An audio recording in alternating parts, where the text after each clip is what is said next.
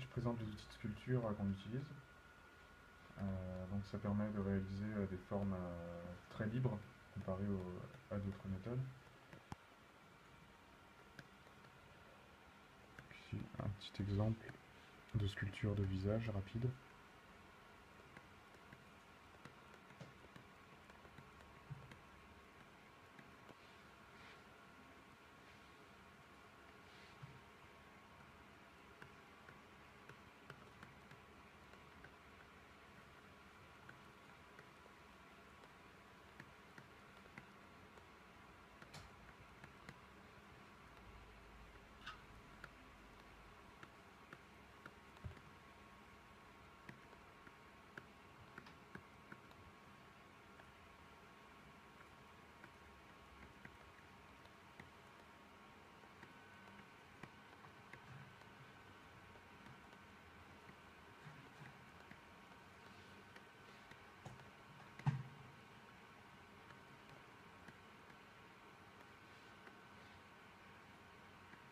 Logiciel spécifique Oui, il est dédié à ça, à ça et à la peinture de, de modèles 3D.